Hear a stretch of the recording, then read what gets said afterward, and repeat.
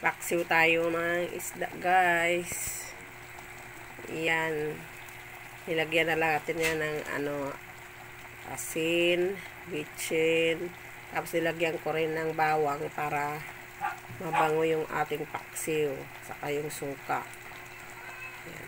Pag nagpaksiw tayo ng ganitong uh, isda, medyo kontian mo lang paglagay ng tubig para hindi siya magiging ano kasi ano yun, nagtutubig yung isda na yan. Ang tawag sa isda na to guys ay tamban. Ito yung ating ngayong almusal. Paksiw na isda. Sarap nito guys. Medyo ano lang siya. Medyo tuyo na pagkapaksiw.